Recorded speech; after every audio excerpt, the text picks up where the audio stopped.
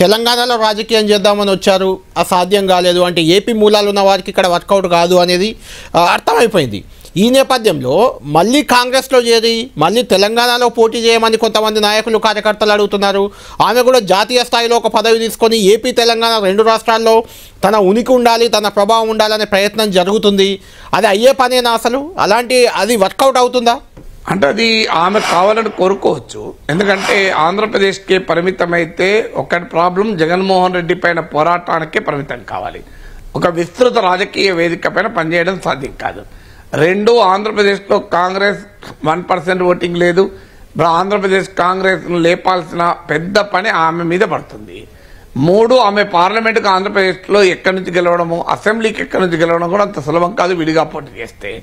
So ఇక్కడ తెలంగాణ ఆంధ్ర తెలంగాణ రెండు ఉంటే తెలంగాణ నుంచి ఆమె ఖమ్మం నుంచి లోక్సభకు పోటీ చేయాలని కోరికగా ఉంది. లేదు రాజ్యసభకు కూడా అవకాశం ఉంటుంది. ఇప్పుడు కాకపోయినా నెక్స్ట్ టర్మ్ ఎప్పుడో ఒకసారి. అందువల్ల తెలంగాణ కోరుకోవడం అనేది ఆమె రాజకీయ ప్రయోజనాల రీత్యా ఉ- ఉ- ఉపయోగం అని ఆమె అనుకోవచ్చు. అదే కాకుండా ఎంబరాస్మెంట్ కూడా ఉంటుంది. ఇప్పుడు మనం మీరే ఇంట్రొడక్షన్ చెప్పారు.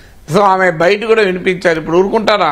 ఇప్పుడు వైఎస్ఆర్ కాంగ్రెస్ పార్టీ షర్మిల బయటలన్నీ కూడా పెద్ద ఎత్తున ప్రజల్లో పెడుతుంది. చూడు నేను ముమ్మాటికి తెలంగాణ బిడ్డనే బరాబర్ తెలంగాణ. తెలంగాణ ప్రయోజనాల కొరకు ఆంధ్రప్రదేశ్తో కూడా పోరాడతానన్నారు. ఇంకా మీరు ఆ బయట వేయలేదు.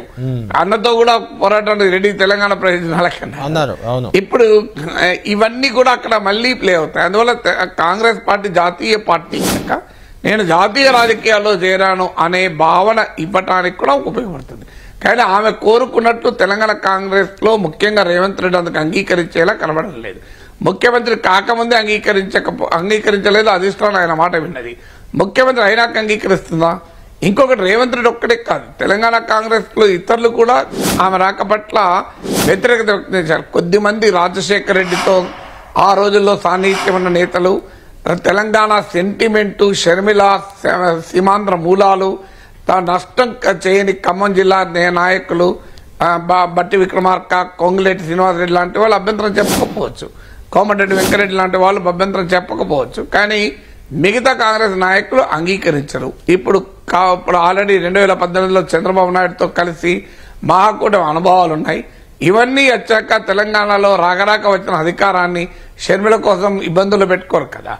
అందువల్ల తెలంగాణ నాయకత్వం అంత సులభంగా అంగీకరించే అధిష్టానంగా ఫోర్స్ చేస్తే తప్ప.